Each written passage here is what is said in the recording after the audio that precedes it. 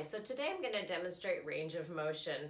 Chelsea has a, a, ruptured a disc in her neck, which tends to make the neck incredibly tight and the front legs very inflexible. So what I do when I'm trying to work on range of motion is I massage all the muscles of the forelimbs to try to warm the leg up. And as you'll see with Chelsea, her legs are so incredibly stiff, it's like trying to bend concrete. So what you want to do is support one joint with this hand and the other joint with this hand and very gently stretch side to side to get better range of motion. As you can see with her, her other leg wants to go with her because she's just so incredibly tight.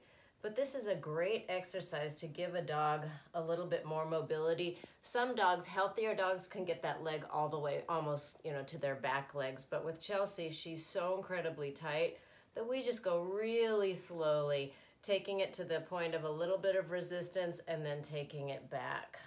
And you want to do this a couple of times a day, but I always preface it by massaging the muscles first to give her a little bit more mobility. And this should keep her more comfortable. I'm Leslie Gallagher. Thanks for watching.